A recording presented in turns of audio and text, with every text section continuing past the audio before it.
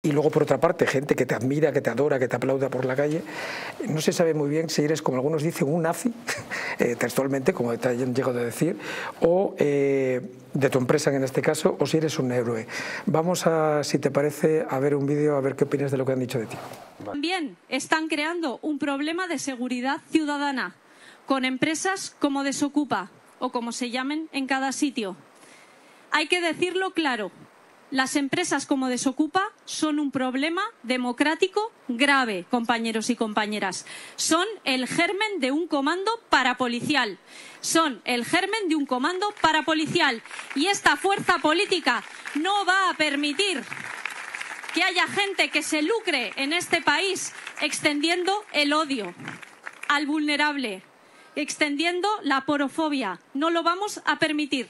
Así que os anuncio que mañana en el Congreso de los Diputados vamos a registrar una ley para perseguir penalmente a esa gentuza que se lucra persiguiendo a los vulnerables. ¿Qué le tienes que decir a esta señora? Se lo dije en su día. Eh, la propuesta le duró 24 horas, porque sus mismos socios eh, en este caso mi amigo Pedro se la tiró para atrás. Entonces yo cuando, cuando lo oí dije, está, que se ha fumado, ¿no? Porque además, como tú bien decías, nos han mencionado tantas veces en el Congreso, en el Senado, en el Parlamento de Cataluña, en los mítines, que yo ya me he acostumbrado a esto. La primera vez que me llamaron nazi o ultraderecha dije, pero sí, porque aparte, como son titulares electoralistas, yo ya no solo a, esta personaje, sino a cualquier colaborador de estos programas de, obviamente, afines al gobierno, cuando me acusaban de estas cosas, yo les decía, ¿tiene alguna prueba? No me haga un titular, sáqueme una prueba donde a mí se me vincula con el nazismo. No llevo ningún... Mira, el, pobre pardillo del rufián, en, cuando he tenido muchos enfrentamientos con... Perdona, perdona, ¿me estás hablando de rufián? Sí. Espera un momento. Papa que demà, decenes, centenars de nazis, ho torno a dir, centenars de nazis vinguin a aquesta ciutat, a Barcelona en autobús, des d'altres ciutats. Es fan dir desocupa, només un missatge per a ells. Primer, qui us paga? Algun, algun dia se sabrà qui us paga i per què. Segon, per qui treballeu? Algun dia se sabrà per qui treballeu. I tercer, som orgullosos, orgulloses antifeixistes.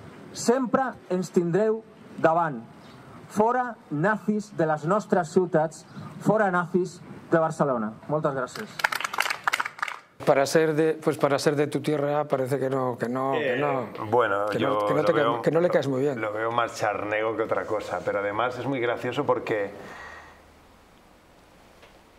este señor lo hemos dejado en ridículo muchísimas veces también, muchísimas veces lo tenemos también, porque ellos juegan al tema de la inmunidad parlamentaria, ¿sabes? De que yo subo aquí, digo cualquier cosa.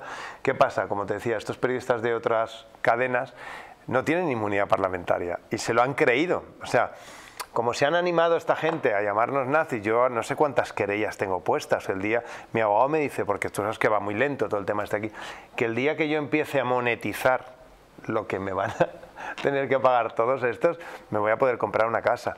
Y además parte, como siempre, lo voy a dar a la lucha contra el cáncer infantil. Entonces, yo ya me lo tomo a, a...